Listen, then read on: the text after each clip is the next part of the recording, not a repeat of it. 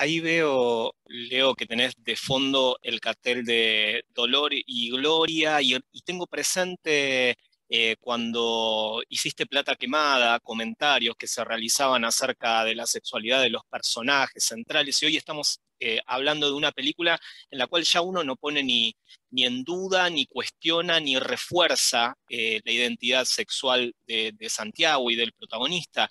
Digo, como actor, ¿cómo viviste también esta transformación eh, del, espectador, de los tiempos, de las conquistas que permiten que hoy en día una película como, como esta no, no sea solamente etiquetada como una película de determinadas características?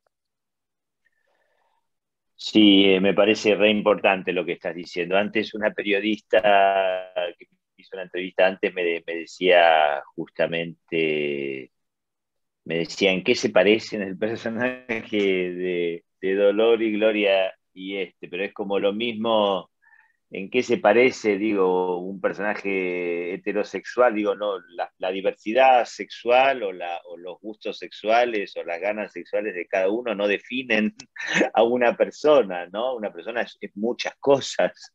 Y, justamente uno en Plata Quemada, cuando, hicimos, cuando hicimos Plata Quemada, probablemente el, aspecto sexual del personaje era lo que yo menos ajeno sentía. Para mí era mucho más difícil eh, era mucho más difícil entender la expresión casi delictiva, ruda, eh, asesina eh, y brutal y carcelaria del personaje de Plata Quemada, ¿no? Y todo lo otro era mucho más afín, la ternura, el amor, la, capacidad de amar y de desear otro cuerpo, ¿no? Puede ser de un hombre, puede ser de una mujer, no hay diferencias, ¿no?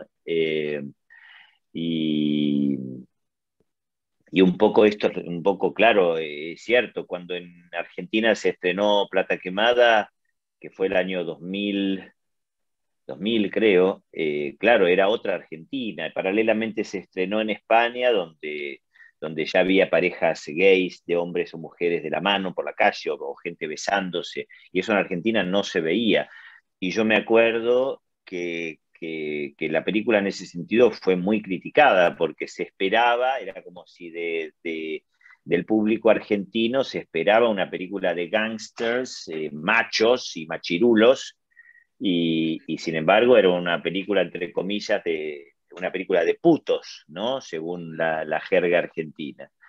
Y, bueno, eh, daba, cuenta del estadio, del estadio en el cual nos encontrábamos como sociedad en ese momento. Como vos bien decís, eso ha cambiado muchísimo, muchísimo en estos últimos 20 años y estamos ahora gozando de, un momento donde, donde, donde estamos todos obligados eh, a esa aventura maravillosa de, de, volver a repensarnos como, como, individuos, eh, de repensarnos como, identidades sexuales, eh, y hay un montón de cosas que, hay un montón como de alguna manera de, autoridades sociales que, se han caído. Eh, y esto me parece valiosísimo, ¿no? Yo creo que justamente antes se lo decía también a, una, periodista que, esto ha sido para mí también. Digo, yo no, no hubiese podido hacer este personaje si, no me, si este personaje no me, si yo no me, no me enfrentase a, cierta deconstrucción también. ¿no? Digo, no, no podría ser este personaje desde mi prejuicio o, desde mi identidad.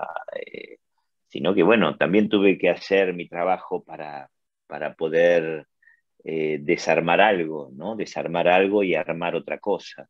Me parece muy, muy interesante y muy valioso eso. Gracias. Un placer.